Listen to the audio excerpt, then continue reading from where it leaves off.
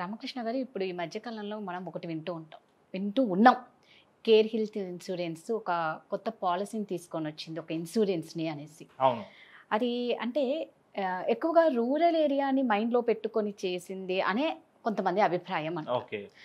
అంటే అసలు ఏంటి అసలు దీని వెనకాల ఏంటి ఎందుకు ఇలా చేసింది దానిలో ఉన్న బెనిఫిట్స్ ఏంటి. అయితే ఈ ప్లాన్ పేరు వచ్చేసి care supreme VFM. Okay. VFM అంటే వాల్యూ ఫర్ మనీ. ఈ ప్లాన్ ఒక ముఖ్య ఉద్దేశం ఏంటిదంటే madam middle class income sector అంటే మిడిల్ క్లాస్ ఫ్యామిలీస్ కానివ్వండి లో లెవెల్ ఇన్కమ్ ఫ్యామిలీస్ కానివ్వండి రూరల్ ఏరియాస్లో ఉండే ఫ్యామిలీస్ కానివ్వండి వీళ్ళు ఏంటిదంటే ఇన్సూరెన్స్ని కొనాలి కొనే శక్తి వీళ్ళకి కనిపించింది అనమాట అంటే హెల్త్ ఇన్సూరెన్స్కి వీళ్ళకి దూరం కాకుండా దగ్గర తీసుకొచ్చే దగ్గరకు తీసుకొచ్చిన ప్రయత్నం చేసిన company care health insurance plan పేరు care supreme value for money అలా అని తక్కువ అమౌంట్ ఉంది కదా క్లెయిమ్ సరిగ్గా రావేమో ఓకే కట్టింగ్స్ ఉంటాయేమో కో పేమెంట్స్ ఉంటాయేమో అనేది మొత్తం నేను మీకు ఇప్పుడు క్లారిఫికేషన్ ఇచ్చేస్తాను. ఈ value for money care supreme value for money ఏమేమి కవర్ అవుతాయంటే ఏదైనా హెల్త్ ప్రాబ్లం వచ్చినప్పుడు హాస్పిటలైజ్డ్ అయినాక హాస్పిటల్లో అడ్మిట్ అవుతాం కదా సింగిల్ ప్రైవేట్ ఏసీ రూమ్ మాత్రమే వస్తుంది. High end rooms deluxe room luxury rooms single high end rooms కానీ షూట్ రూమ్స్ కానీ ఇవి రావు. Ah. అంటే సింగిల్ ప్రైవేట్ ఏసీ రూమ్ వచ్చేస్తుంది. ఓకే.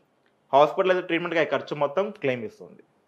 ఐసీయూలో అడ్మిట్ అయినాక ఐసీయూలో వచ్చే ఖర్చులను కూడా మొత్తం కంపెనీ పే చేసేస్తుంది. అడ్మిట్ అవ్వక ముందు సిక్స్టీ డేస్ అంటే ప్రీ హాస్పిటలైజేషన్ అరవై రోజుల వరకు జరిగిన ఎక్స్పెన్సెస్ కూడా రీఇంబర్స్మెంట్ చేస్తుంది. ప్రీ హాస్పిటలైజేషన్ అది కూడా ఉంది.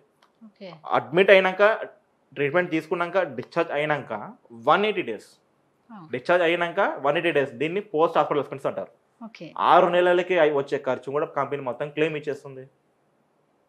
Road ambulance up to ten thousand rupees వరకు క్లెయిమ్ ఇచ్చేస్తుంది. దీంతో పాటు ఆయుర్వేద యునాని సిద్ధ హోమియోపతి ఆల్టర్నేటివ్ ట్రీట్మెంట్స్ అంటారు. ఇవి కూడా క్లెయిమ్ ఇచ్చేస్తుంది. ఆయుర్వేద ట్రీట్మెంట్ కూడా ఇస్తుంది. ఇస్తుంది. మరి ఇవన్నీ ఉన్నాయి కదా ఇన్ని కవర్ చేస్తున్నారు. ఇంకోటి ఏంటిది? ఆల్ మన టెక్నాలజీతో కూడిన ట్రీట్మెంట్స్ అంటే అడ్వాన్స్ టెక్నాలజీతో కూడిన ట్రీట్మెంట్స్ లైక్ రోబోటిక్ సర్జరీస్ కూడా కంపెనీ క్లెయిమ్ ఇచ్చేస్తుంది. మరి ఇన్ని ఇచ్చారు కదా తక్కువ ఎందుకు ఉంది? ఒక యాభై వేలు వచ్చే ప్రీమియాన్ని మా care supreme value for money ప్రోడక్ట్లో ఇరవై వేలు ఇరవై ఐదు వేలు ఎందుకు వస్తుంది? అంటే కారణం ఏంటిదంటే care సుప్రీంలో every year hundred percent bonus వస్తుంది. ఇందులో మాత్రం ఎవ్రీ ఇయర్ ఫిఫ్టీ పర్సెంట్ చొప్పున టూ ఇయర్స్ వస్తుంది. క్లెయిమ్ ఉన్నా క్లెయిమ్ లేకపోయినా two times two times bonus వస్తుంది. ఓకే ఇంకోటి ఏంటిది? స్మార్ట్ సెలెక్ట్ హాస్పిటల్స్ అని ఒకటి ఉంది. అంటే కంపెనీ ఒక లిస్ట్ ఆఫ్ హాస్పిటల్స్ ఇచ్చింది. ఇండియా మొత్తం మీద. తెలంగాణలో ఏమి ఉన్నాయి ఏపీలో ఏమేమి ఉన్నాయి ఒక లిస్ట్ ఇచ్చారు. ఆ లిస్ట్లో ఉన్న హాస్పిటల్స్ మాత్రమే వెళ్ళాలి. అలా అని ఆ లిస్ట్లో తక్కువ లేవు. మ్యాక్సిమం టాప్ హాస్పిటల్స్ అన్నిటి కవర్ అయిపోయినాయి. అపోలో హాస్పిటల్ ఉంది శ్రీకర్ హాస్పిటల్ ఉంది కేర్ కవర్ ఉంది కిమ్స్ ఉంది మెడికవర్ ఉంది ఏఏజీ ఉంది సన్షైన్ ఉంది. అన్నీ ఉన్నాయి. పెద్ద హాస్పిటల్ అన్నిట్లలో కవరేజ్ ఉంది. సెకండ్ క్లాస్ హాస్పిటల్స్ కూడా అన్నిట్లో కవరేజ్ ఉంది. చిన్న చిన్న హాస్పిటల్స్ని అవాయిడ్ చేసేసింది. అంటే ఏ హాస్పిటల్లో అయితే కొన్ని ఫ్రాడ్ చేసే అవకాశాలు ఉన్నాయి జెన్యున్ లేదు అధికంగా ఇన్సూరెన్స్ని వాడుకుందాం అనే హాస్పిటల్స్ అనేది తీసేసింది. టాప్ హాస్పిటల్స్ మాత్రమే ఈ ఇన్సూరెన్స్ అనేది పనిచేస్తుంది. లేదండి ఎమర్జెన్సీగా వేరే హాస్పిటల్లోకి వచ్చాము. మీరు ఇచ్చిన లిస్ట్లో లేదు. వేరే హాస్పిటల్కి అడ్మిట్ అయ్యాము. Hmm. మేము ట్రీట్మెంట్ చేయించుకున్నాం. మరి మా పరిస్థితి ఏంటిది. అంటే క్లెయిమ్ ఇస్తాము. కానీ ట్వంటీ పర్సెంటేజ్ కట్ చేసేస్తాం. మేము ఇచ్చిన నెట్వర్క్లోకి వెళ్ళిపోతేనేమో వంద శాతం క్లెయిమ్ వచ్చేస్తుంది. లేదనుకోండి ఇరవై శాతం కట్ చేస్తాం. అంటే అప్పుడు eighty percent eighty percent claim ఇచ్చేస్తాం. ఓకే. ఓకేనా? అంటే ఏంది? Room rent single single private AC room వస్తుంది. నెక్స్ట్ స్మార్ట్ సెలెక్ట్ హాస్పిటల్స్లో మాత్రమే వెళ్ళాలి. వెళ్ళకపోతే twenty percentage. Twenty percentage copayment ఉంటుంది. Hmm. ఇంకోటి వచ్చేసి నాన్ మెడికల్స్ కవర్ అవ్వవు. నాన్ మెడికల్స్ కవర్ అవ్వవు. అంటే నాన్ మెడికల్స్ అంటే ఏంటిది? గ్లౌస్ కాటన్ దెబ్బ దెబ్బ తగిలితే కట్టు కడతారు కదా అవి. మాస్క్ కానివ్వండి డాక్టర్స్ వేసుకునే టోపీలు కానివ్వండి వాళ్ళు వేసుకున్న గౌన్స్ కానివ్వండి. ఇవి వీటిని ఏమంటారు? నాన్ మెడికల్స్ అంటే మెడికల్ మెడిసిన్స్ కానివి ఇంకా ఏదైనా సపోర్టివ్గా పేషెంట్కి వాడిన ప్రతిదీ నాన్ మెడికల్స్ అంటారు. ఇవి మాత్రం కవర్ కాదు. ఒక వన్ ల్యాక్ బిల్ అయితే ఇవి ఒక హార్డ్లీ ఎనిమిది వేలు తొమ్మిది వేలు పదివేలు వచ్చేస్తుంటాయి. ఇవి కవర్ కావు. రామకృష్ణ గారు అంటే మీరు ఫస్ట్ నుంచి ఒకటే చెప్తున్నారు తక్కువ తక్కువ తక్కువ అని. అవును. అసలు తక్కువ అంటే ఎంత ఉంటుంది అమౌంట్ కట్టాల్సింది? ఎంత ఉంటుందంటే మేడం ఈ ఇన్సూరెన్స్ తీసుకోవాలంటే ఆ వ్యక్తికి సిక్స్టీ ఏజ్ లోపు ఉండాలి. ఓకే. సిక్స్టీ అబోవ్ ఉన్న వాళ్ళకి ఈ ప్రోడక్ట్ అనేది ఎలిజిబిలిటీ రాదు. ఓకే. ఏజ్ సిక్స్టీ లోపు ఉండాలి? నెక్స్ట్. ఇదే సిక్స్టీ ఏజ్ ఉన్న పర్సన్కి ఒక టెన్ ల్యాక్స్ పాలసీ కనుక తీసుకున్నట్టయితే అతనికి ఆల్మోస్ట్గా ఎంత ఎంత వస్తుందంటే బిల్లు? మనం సారీ ప్రీమియం చూసుకుంటే ముప్పై వేలు నలభై వేలు వస్తుంది. Sixty age below for example fifty eight age ఉన్న పర్సన్ ఒక టెన్ ల్యాక్స్ పాలసీ తీసుకుంటే కేర్ సుప్రీం వాల్యూ ఫర్ మనీలో పద్దెనిమిది వేలు ప్రీమియం వస్తుంది. అదే వేరే కంపెనీలో కానివ్వండి కేర్ హెల్త్ ఇన్సూరెన్స్లో వేరే ప్రోడక్ట్ తీసుకుంటే కానివ్వండి ముప్పై ఆరు వేలు నలభై వేలు నలభై ఐదు వేలు వస్తుంది. అంటే సగం తగ్గిపోతుంది. ఎందుకు?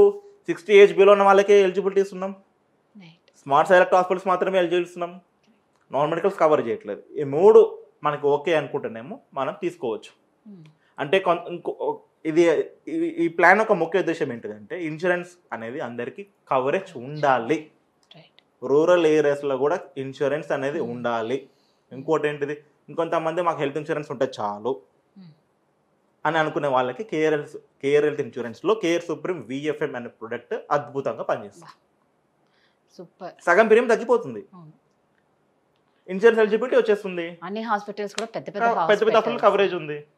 ఏంటిదంటే టెన్ లాక్స్ పాలసీ లోపు మాత్రమే ఉంది. సో ఏంటంటే అండి నిజంగా దీని కాన్సెప్ట్ చాలా బాగుంది. అంటే ఒక అవేర్నెస్ ముఖ్యంగా రూరల్ ఏరియాలో వాళ్ళకి పాపం ఏం తెలియదు థింగ్ నిజంగా. ఇంకోటి ఫైనాన్షియల్ అంత ఎవ్రీ ఇయర్ నేను వాడకున్న అంత అమౌంట్ పే చేయాలా అనే అభిప్రాయం వస్తుంది కాబట్టి తక్కువ ప్రేమ ఇచ్చామనుకోండి సరేలే అందరు తీసుకుంటున్నారు మనం కూడా తీసుకుందాము మనకి రక్షణగా ఉపయోగపడుతుంది చిన్న చిన్న ఎక్స్పెన్సెస్ కావు అది మనం భరిద్దాము ఓకే ఎలాగో మన మన హెల్త్ బాగానే ఉంది. బాగోలేనప్పుడే కదా ఆ కొంచెం డిఫరెన్స్ అమౌంట్ నేను పే చేసుకుంటాను ప్రస్తుతానికి ఇన్సూరెన్స్ కావాలి. అని అనుకున్న వాళ్ళు తీసుకోవచ్చు.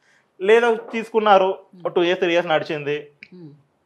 వేరే వాళ్ళు ఏదో అన్నారు. Hmm. అప్పుడు ఈ కంపెనీని పోర్టబిలిటీ చేసుకోవచ్చు. ఓకే.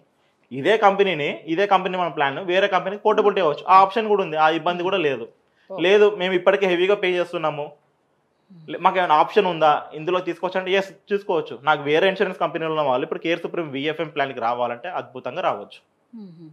వాళ్ళకి అక్కడ ఎంత సీనియారిటీ ఉందో అంత సీనియారిటీ మేము పే చేస్తున్నాం.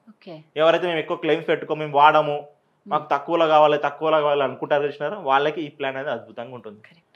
ట్రీట్మెంట్లో ఎక్కడ కూడా డిడక్షన్స్ లేవండి ఫస్ట్ థింగ్ క్లెయిమ్ వంద శాతం వచ్చేస్తుంది.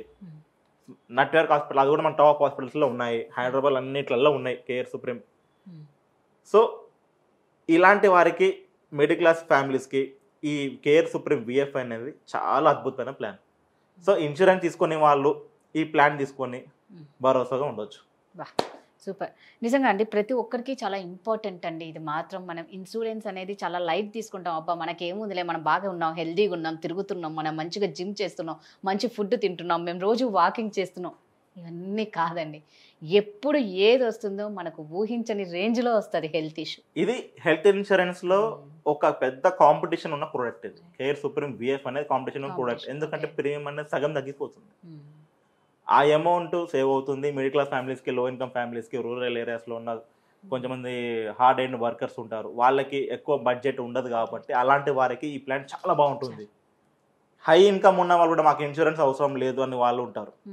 మాకు ఆఫీస్ ఇన్సూరెన్స్ ఉంది అని అంటారు. మాకు వేరే ఇన్సూరెన్స్ గ్రూప్ గ్రూప్ ప్లాన్ ఉంది అంటారు. అలాంటి వాళ్ళకి కూడా ఇది అమౌంట్ తక్కువ వస్తుంది కాబట్టి ఇది కూడా ఆల్టర్నేట్గా ఎంచుకోండి. డిడక్షన్స్ లేదు మేము కొంచెం ఒక త్రీ ల్యాక్స్ డిడక్షన్ పెట్టుకుంటాము. టాప్అప్ ప్లాన్గా కూడా ఈ ప్లాన్ని వాడుకోవచ్చు.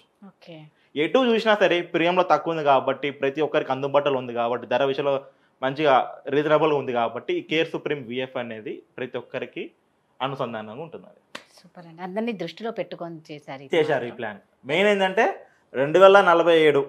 ఆ ఐఆర్డిఏ ఇచ్చిన గైడ్ లైన్ ఏంటంటే రెండు వేల నలభై ఏడు కల్లా భారతదేశంలో ఉన్న వారికి ఇన్సూరెన్స్ కవరేజ్ ఉండాలి. సో అనే ఒక ముఖ్య ఉద్దేశంతో ఈ ప్లాన్ రూరల్కు టచ్ అవ్వాలి అనే ఉద్దేశంతో ఈ ప్లాన్ అనేది పోటీగా నడుస్తుంది. సూపర్. ప్రతి ఒక్క భారతీయుడికి ఇన్సూరెన్స్ మాత్రం ఖచ్చితంగా ఉండాలి. Two thousand forty seven. Super. Thank you thank you so much.